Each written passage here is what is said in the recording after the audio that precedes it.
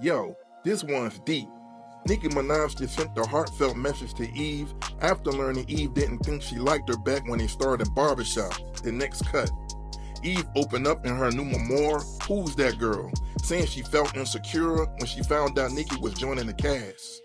She even went to therapy to deal with it, but once they were on set, those feelings faded, and Eve realized just how hard Nicki was hustling.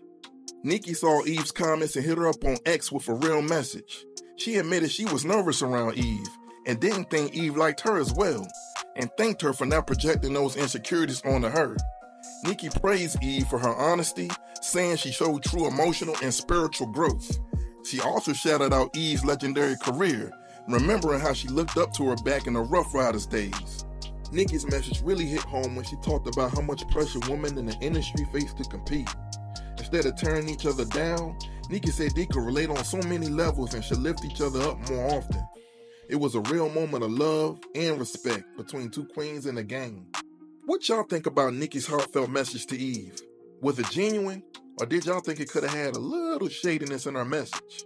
Drop your thoughts in the comments. Like, subscribe, and we'll catch you in the next one.